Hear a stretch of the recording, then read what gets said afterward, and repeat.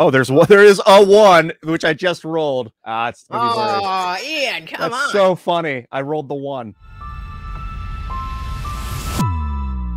I feel like I have, you know, kind of the answers. And that feels very arrogant to say that I have the answers.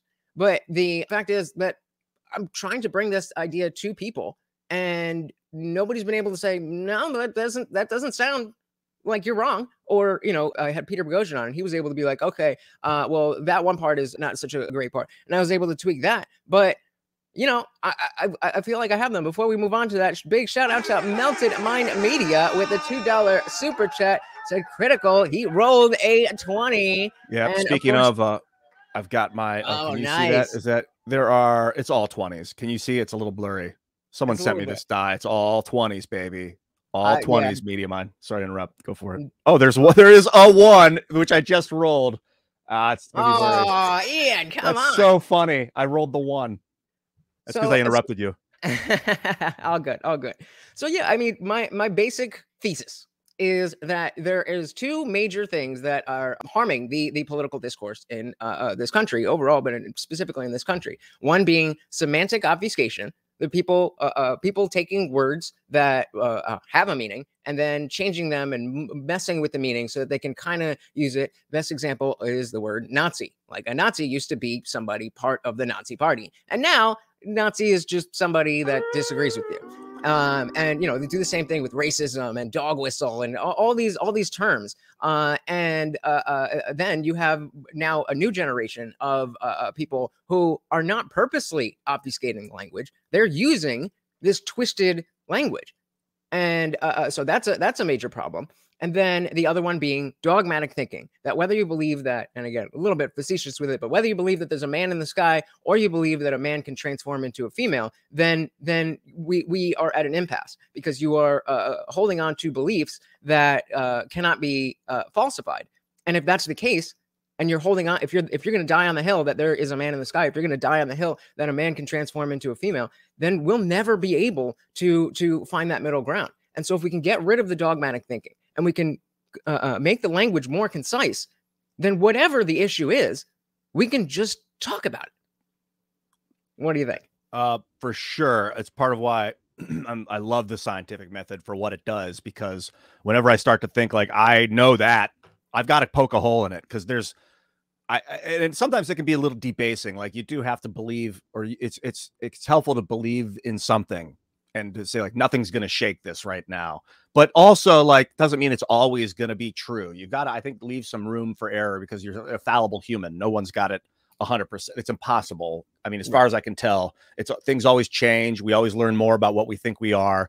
Definitions change. Words, uh, the meanings that they used to have no longer have make sense because of the new perspectives we have. So that's like always like challenge your own beliefs. I think that's a big part of avoiding falling into dogmaticism.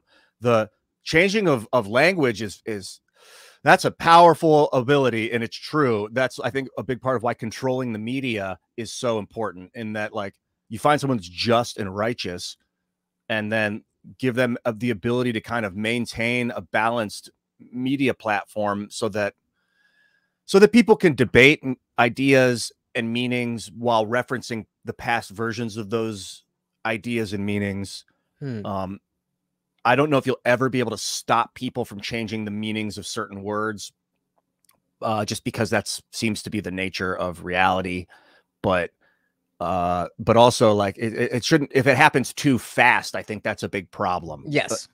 Like it should be a, a long, slow understanding of of amalgamation or or morphism if you're gonna if you're gonna allow Yeah, words. to- Absolutely, yeah. I mean, language is definitely going to evolve uh, uh, organically over time. The the The issue is when uh, uh, you know they're forcing the change and say, "Oh no, you have to say birthing persons now instead of uh, a woman," and and, and that's where you know that's where that that really um, you know throws a, a wrench in the whole thing. Uh, shout out to Nick here has a great question for you. Uh, do you think morality can exist without believing in a god? So he's an uh, uh, an atheist, though I'm agnostic. Do you believe morality can exist without believing in a god? for sure. I didn't believe in a God for 28, 29 years 30 36 37 years i started to sense it in my late 20s and then i, I started to consider that it was a god or god in my late 30s uh really really only like three or four years ago did it start mm-hmm. to, to start to, but like i was always very moral because my parents taught me that like be nice to people. If if they're mean to you that's okay. They'll learn later in life what they did was wrong and be be kind to them in response. These kind of things don't take it you know it's not it's not because of you that they were mean. They they maybe they were they have a bad childhood or something like that. And fortunately i was able to be taught the morals but then the argument i usually get from people specifically tim when we're talking about the show is that my parents and the morals that they taught me are based in judeo-christian morals that's based on the understanding of uh, a paramount and ultimate god of there's no other god before me. Don't worship false idols. Don't yeah. fuck your neighbor's wife. Don't be obs- like the 10 commandments and things like that that you could argue comes from god but i can't i can't verify exactly. that it just they're they're good seems to be good ways to live so that you don't harm your neighbors and you can live in a prosperous society um right and ultimately and, and I would say, yeah, the answer is yes, that you can be moral without believing in a God, but that doesn't mean that the morality isn't derived from people that had believed in God. I completely agree, and that I think that's a big point. I I I would uh, if if at least so far, if nothing else, if nothing else, then I would say that's one of the most important things. Um, that you know, as you go and you know, talking to all these huge names and and uh, all these people are are uh, listening to you to to understand that the there is morality without God, even if it comes from God somebody like myself is not looking to make that argument that it's not from God. I simply just don't believe in that God. Um, so uh, uh great answer. We got a it's question sort of, from sorry. Yeah, it's sort of like if a car is driving down the road towards my house right now. I don't necessarily believe that that's happening because I have no proof or observation of it, but that doesn't mean that it's not happening. Yeah, fair enough. Fair enough. We got Guan Tech with the $5 super chat said, I like the idea of universal truth and drawing off the stories all cultures have told. Uh, uh, this is the closest we can come to God. Yeah. Shout out to Jordan B. Peterson. And um, yeah, I, I, think that's that's pretty much exactly uh, uh, what we are talking about here. I got them both. Don't worry, guys. Every single super chat comes with a treat for my uh, dog Morty over here. We'll get to that. Uh, number one, American Rob, welcome to the party. $10 super chat. Thank you. Thank you so much. Said Ian, I would love to talk to you about the towers being the uh, beginning theory. How can we make this happen? Great job, Lunch. Uh, well, thank you. Uh, let's have the conversation. I don't know. Let's let's let's figure it out. Maybe on a Twitter space or something we can talk about this. But what about the towers being the beginning theory? I've never. I don't know what towers you're referencing. He said, uh, change the date date to the word towers. So the, oh, about the date being the beginning theory. The date being the beginning. Hmm, the date being the beginning. I don't know what that means, but I do believe in reality that the universe has never begun and will never end, that it's constant. It always is. This is like before I ever believed in God, I allowed myself to believe in infinity and let it just happen. Mm. It's kind of like in the gut. It's like an uncomfortable twisting of your gut to conceptualize that it's always been. And then now I think of the universe as a torus kind of flowing around. Oh, well, our universe, which is inside of another torus, inside of another torus. So it's never really. Yeah. Yeah. And then it gets us back to, to, to fractals.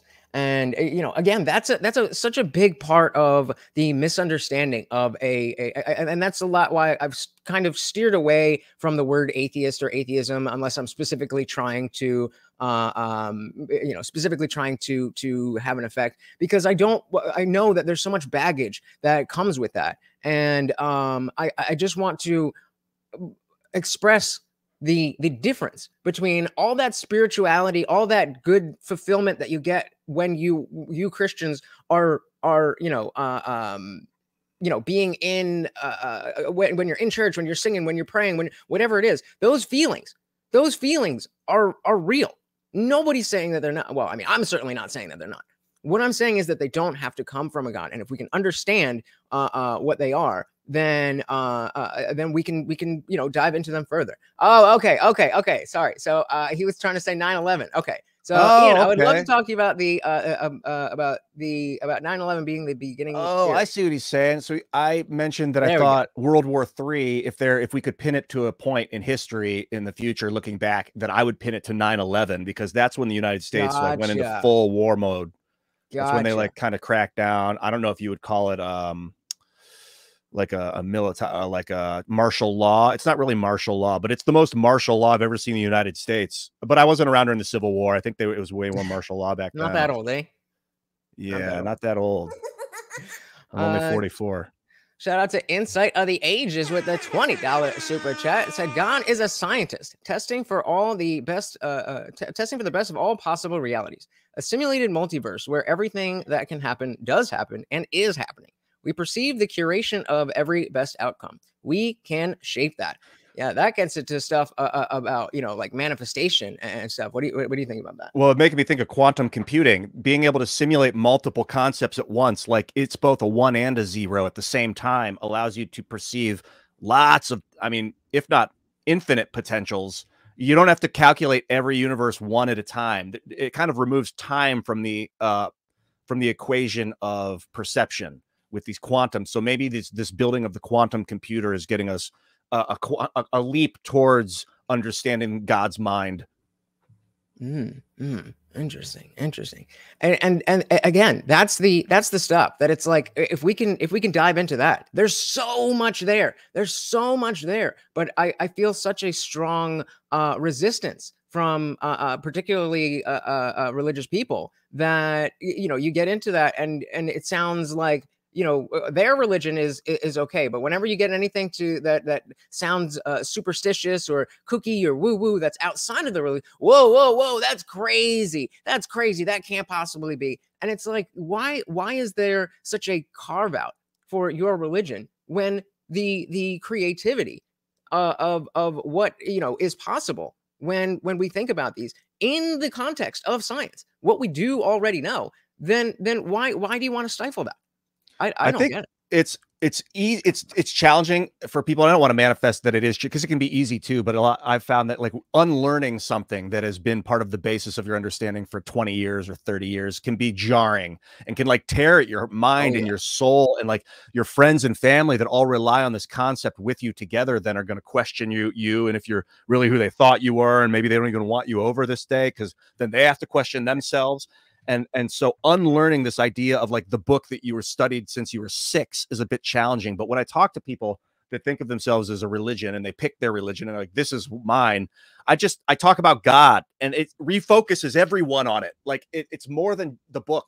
It never was supposed to be about a book it's supposed to be about god and whatever it is let's figure it out together and i'm open to your interpretation through your books and novels and and and deciphers but just stay focused on on on the one concept and you can view it from many angles. It can be the Tao is like a, a, a duality of looking at god. It can be the trinity of hinduism where it's the protector the destroyer and the creator all combined in this one essence but you can look at it from different pieces of one or you can look at it as one through the monotheistic faiths or many many through these gigantic polytheistic concepts aspects of the one Right. And and and as you were saying before that it may not necessarily be that any one of those is the right answer, that there could be a combination or multiple. And uh, uh, the the adherence to one particular dogma prevents us from doing that. And that's why uh, you know, when I talk about what we should follow uh, as, you know, as Tim put it, the mission for this this uh, new secular conservative uh, uh, movement that doesn't it, it doesn't